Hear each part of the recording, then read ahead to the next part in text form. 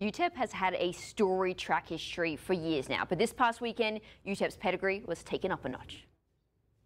But Korir is coming away. Tobi Amusan is going to win. Jamaica has now taken over the second place position. Miners past and present, picking apart the competition and lighting up the track all weekend long at the World Athletics Championship. Yeah, it was pretty clear early on that they go do some different things, so bigger and better things. Since her time at UTEP in 2016, Tobi Amusan has been working to capture the world's attention. This race, the 2016 NCAA Outdoor 100 meter hurdles. Tobi The freshman from Texas El Paso, was right there. But the Nigerian flyer always craved more. Later that year, Amusan tweeted this, quote, I know now, but soon I will be unforgettable. I will persist until I succeed. On Sunday, the former miner's desires she mentioned in that 2016 tweet came to fruition. Amusan breaking a six-year-old world record in her semi-final. World record!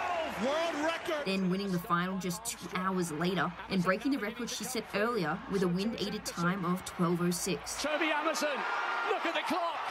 I cannot believe it! She's done it again! Amusan now the first Nigerian to ever win a world championship.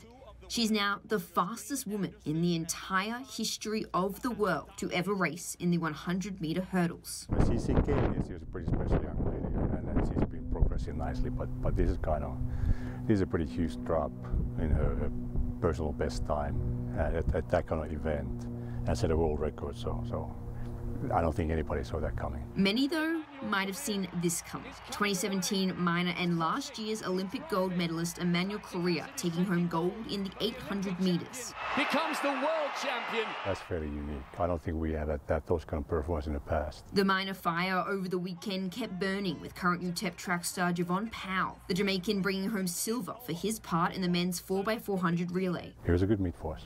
Good might be an understatement, but what exactly will the miners' stellar showing over the weekend mean for the future success of the program? So that's a good sign, but I think what what the prospects nowadays look for, they they they, they want a bunch of bells and whistles. So so, yeah, that's that ch- checks out the part that oh, check, like coaching is here and you can develop here, but then, then they start looking.